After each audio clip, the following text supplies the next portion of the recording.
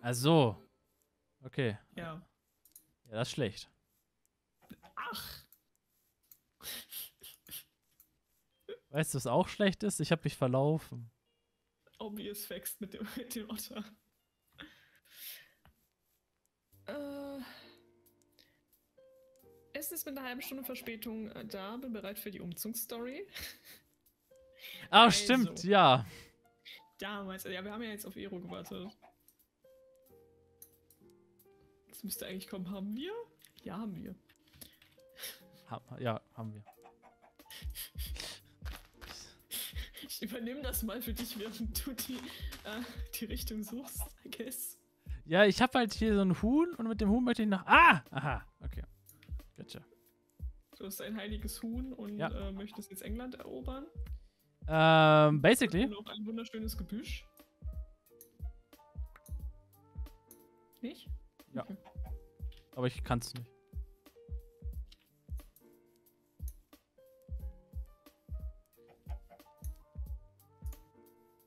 Äh, ja, wo, wo fangen wir denn am besten an? Am, am Anfang aller Dinge. Ich muss nur kurz sagen, ähm, ja, das hatte ich mitbekommen, Tob, aber das ist halt natürlich unlucky. Belastend. Wait, das war dumm. Also es hat alles damit angefangen, dass Varas eigentlich eine neue Wohnung bekommen hat. Yay! Ski, ski. Und dann war das halt so eine Sache von, yo, wir müssen jetzt einmal umziehen.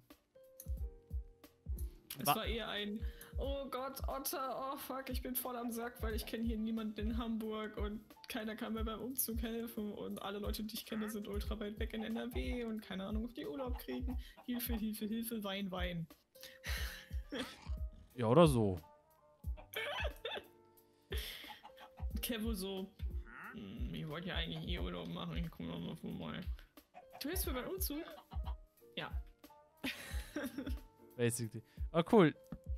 Kinz und ich hatten dieselbe Idee. Perfekt.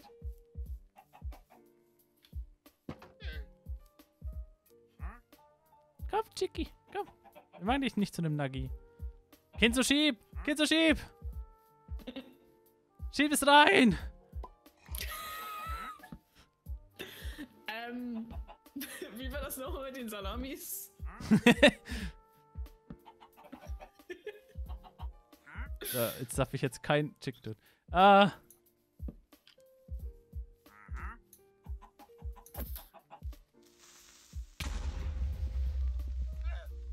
Äh, auf jeden Fall hatte dann war das eben diese ähm, eben Hilfe. Und ich meinte also, yo, kein Stress, ich komme vorbei, ich helfe damit.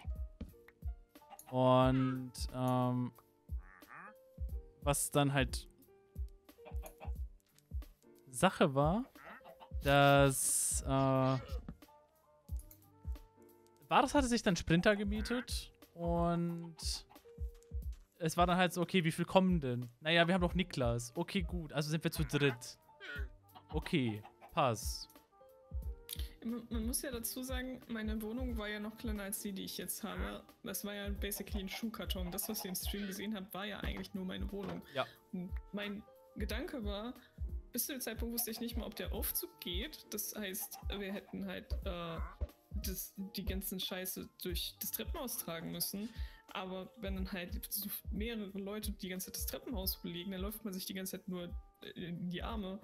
Und äh, in der Bude ja, steht man sich dauernd im Weg, weil die Bude halt so klein ist. Deswegen dachte ich mir, okay, selbst wenn ich jetzt mehr Helfer hätte, das würde mir jetzt nicht viel bringen, weil man halt sich nur im Weg steht und ich, keine Ahnung, ich wollte auch nicht so viele fremde Menschen in meiner Wohnung haben, okay.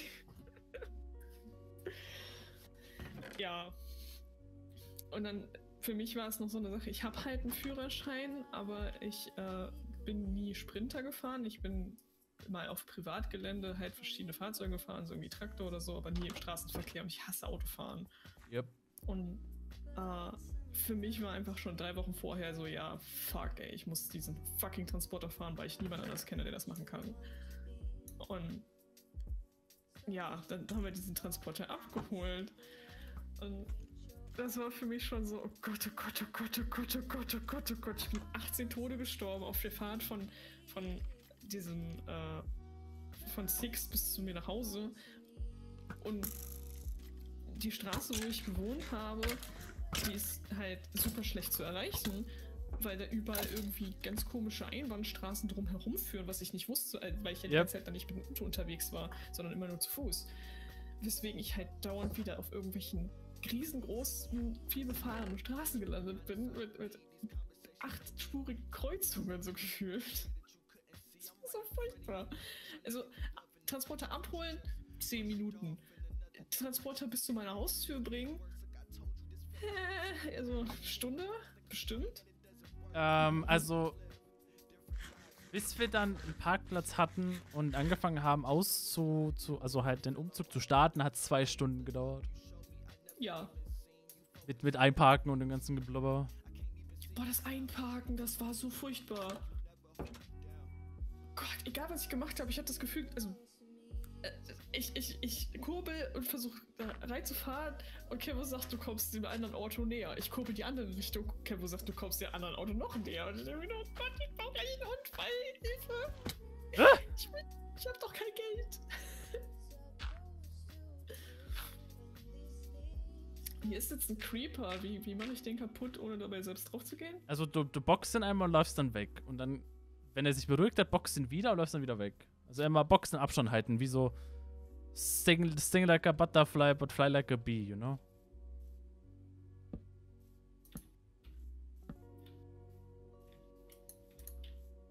Ja, und dann hat er halt der, der, der, der Umzug dann halt angefangen.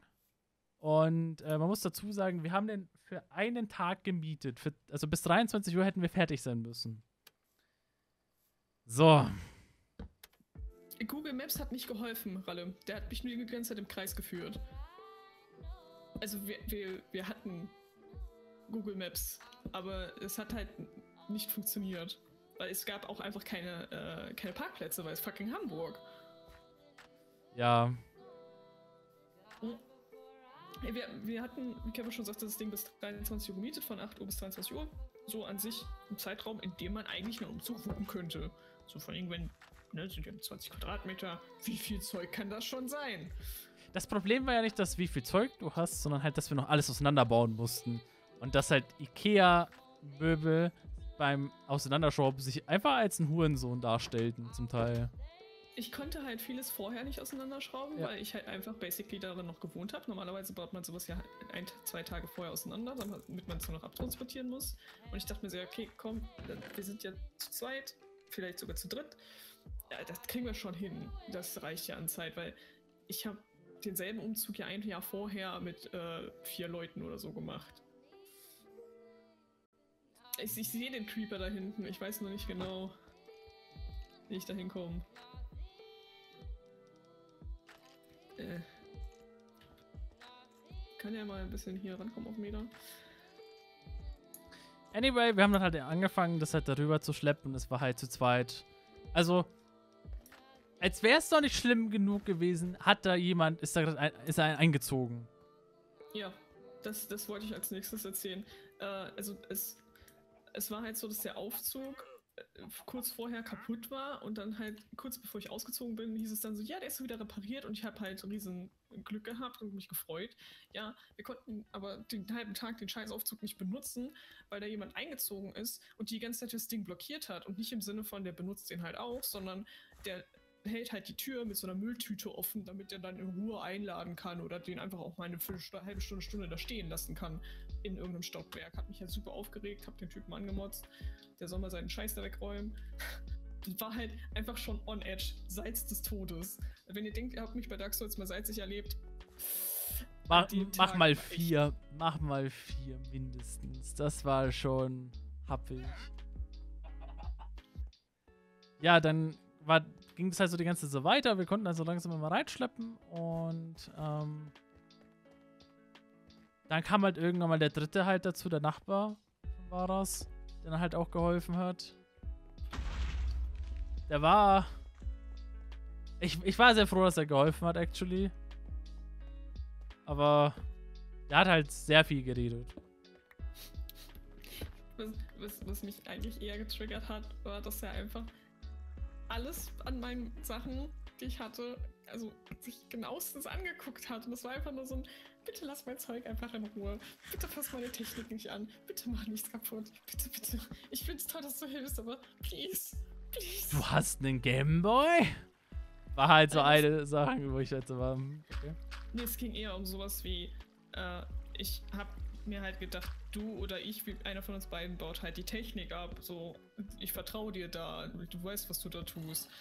Aber so alle anderen Personen, die haben halt nicht die Permission von mir. Und wenn der dann an meinen Monitoren rumfummelt, dann denke ich mir nur so, lass die Pfoten davon, Junge.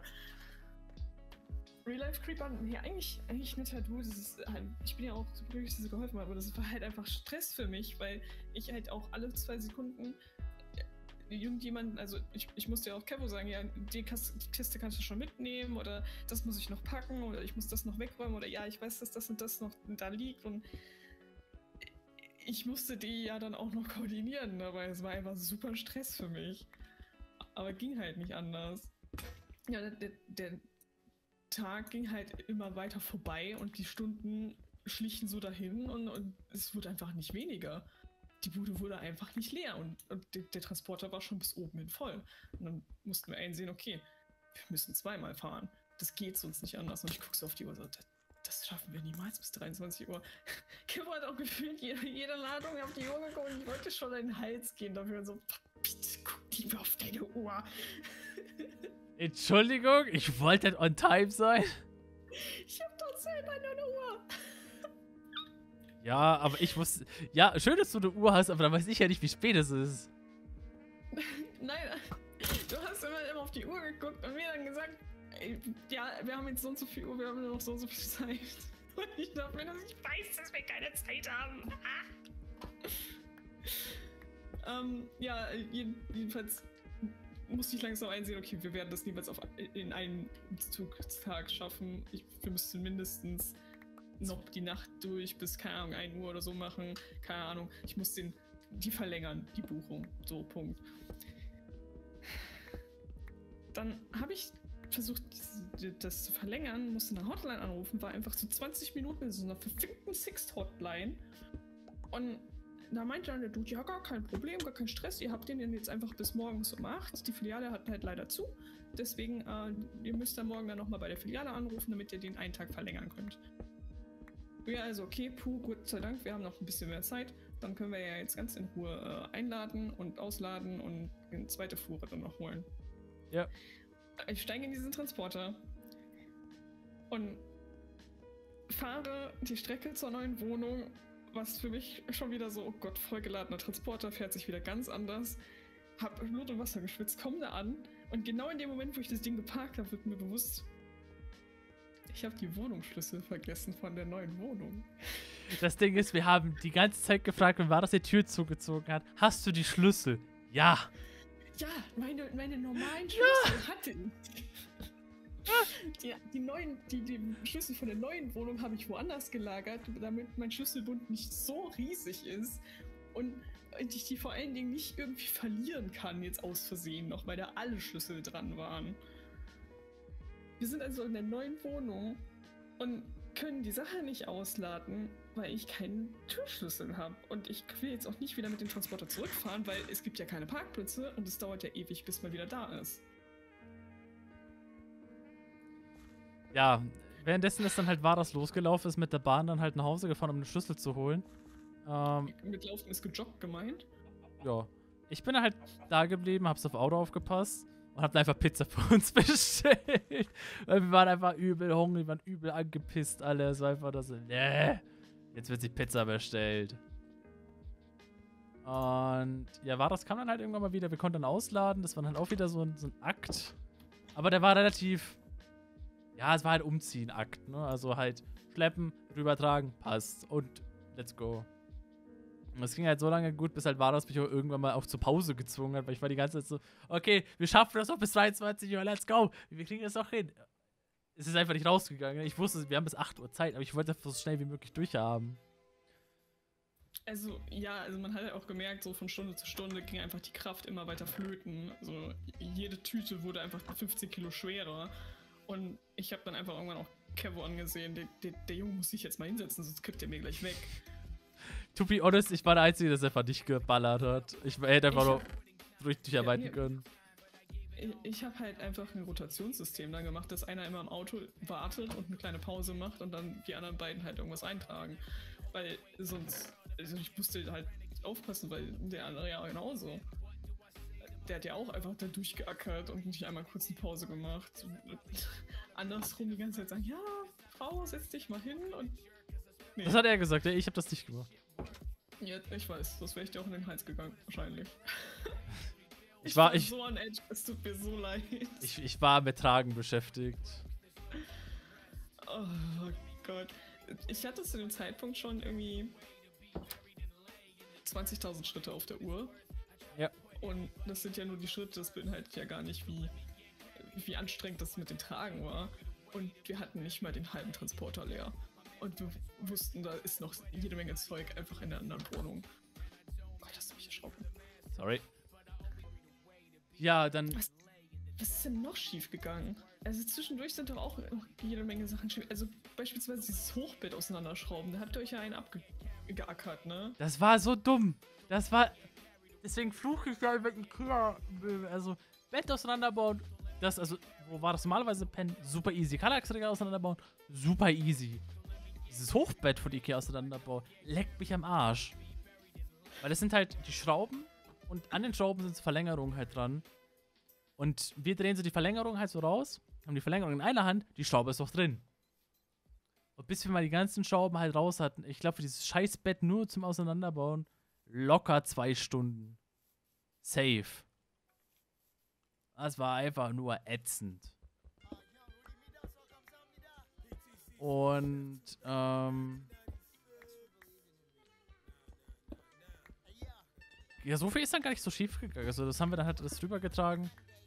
Ähm, war das ist dann halt nach Hause gefahren, also zurück in die alte Bude. Und diesmal haben wir halt keinen Parkplatz gefunden. Wir haben uns einfach ins Wendekreis reingestellt. Einfach so, fuck it. Jetzt ist Nacht, da will eh grad keiner hin. Da sind wir jetzt. Wir sind jetzt hier die Bosse. Also mein Grundgedanke war halt, nachts laufen keine Politessen rum. So. Und wir haben ja nur noch X Amount auf Sache. Den packen wir jetzt einfach ganz schnell da rein und dann bin ich ja schon wieder weg. Weil es war halt einfach nichts frei. Es, ich konnte da nicht parken. Und wie Jo. weit sollen wir das schleppen? Zwei Kilometer? Ja, und dann haben wir es halt bis, also Ewigkeiten durch die Nacht getragen. Dann hieß es halt so, yo, lass mal bitte kurz fünf Minuten Pause machen. So, ich mach Fenster auf, wir sitzen einfach auf dem Boden, einfach nur runterkommen. Und dann höre ich eine Sache, ein LKW.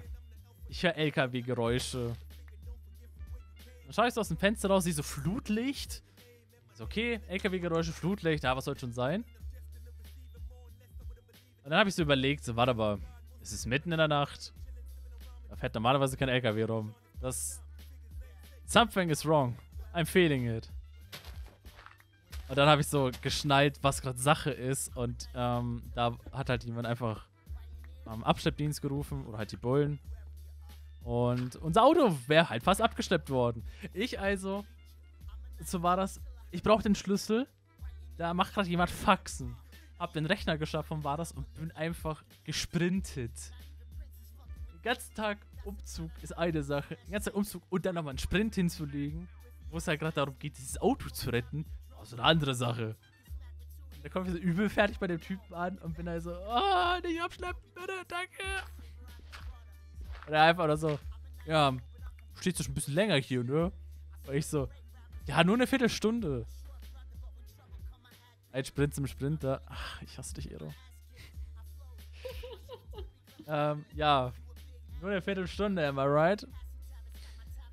Und dann konnte ich den halt so, so aufhalten, aber es ist wird trotzdem uns in Rechnung gestellt. Aber Auto war sicher. Wir haben nur noch einen Rechner und einen Monitor reingeworfen und es war halt dann.